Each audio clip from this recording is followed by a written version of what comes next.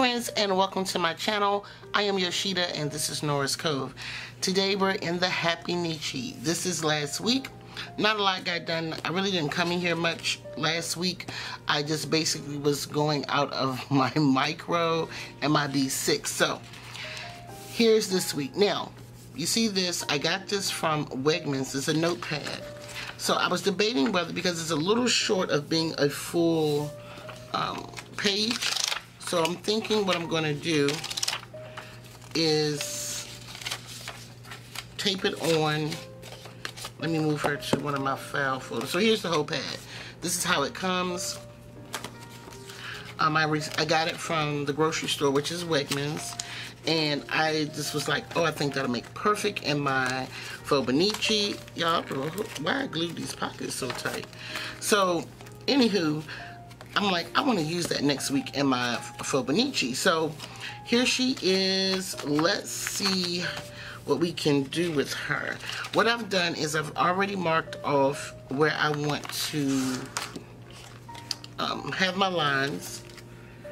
And I figured this away I can still put boxes here, have a positive message. So what I think I'm going to do is once I get it back in the holes, I'm just going to line them up and tape them. Matter of fact, I think that's what I'll do. So let's get started.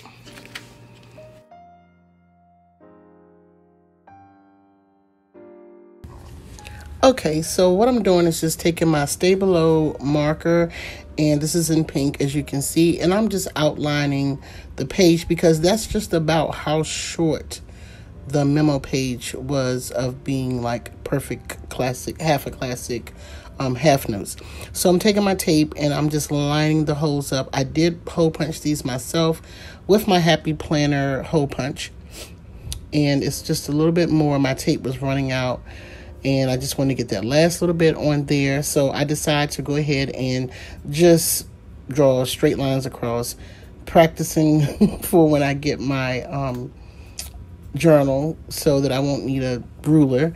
But I still end up kind of using a ruler a little bit just to line the side of the page, just to outline it, just so that you know that it is days of the week.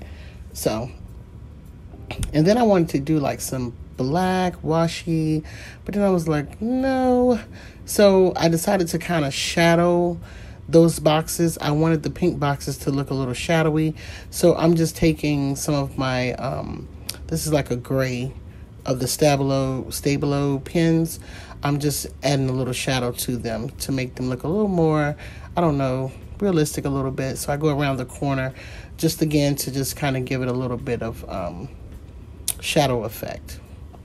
So still in my little bit pen bag here, I take this black and I was going to just go ahead and color the whole thing in black, but I figured just to go ahead and just give it a little bit of depth just to outline it just a little bit.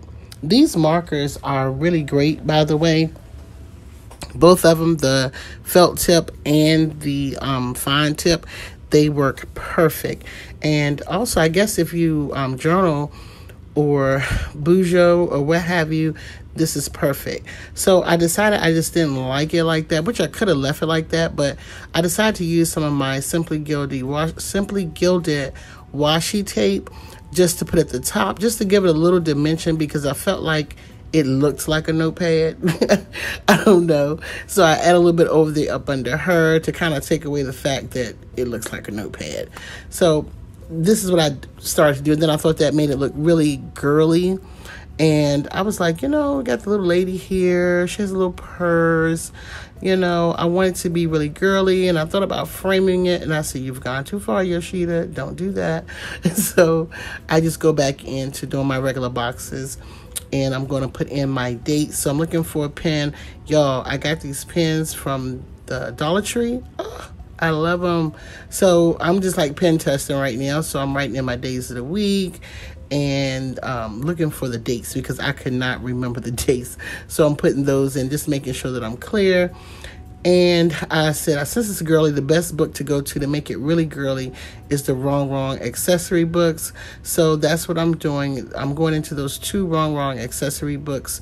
And one of them is like a mm, kind of notepad, uh, what is it? Yeah, sticky notes. But in the back, there are some girls, there are shoes, and all that just reminded me of just being girly. That's what's girly to me. Um, in the comment section, let me know what does what does girly look like to you? I don't know. Girly to me is pink, it's pretty, or just your favorite color, heels, purse, perfume, wallets. I don't know. I just love.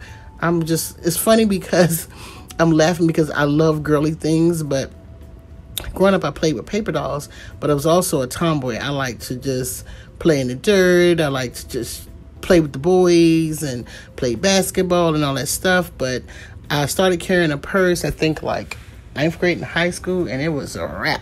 I still play by sports, but I loved everything girly. So, yeah, purses and perfume, shades and heels, all that just reminds me, all the accessories remind me of just girly girl. So I was going to add some boxes, but I thought it just kind of took away from my little girly theme, and I just didn't want to overcrowd it. So I just found some more shoes and kind of just stuck them in there. And I believe that I'm going to pull up one of the, yeah, I'm going to pull up this box because I'm like, uh-uh, I just want to leave it real nice, classy, and simple. So I hope you guys enjoy this. And don't forget, in the comment section, let me know what is girly to you, and I will see you all soon.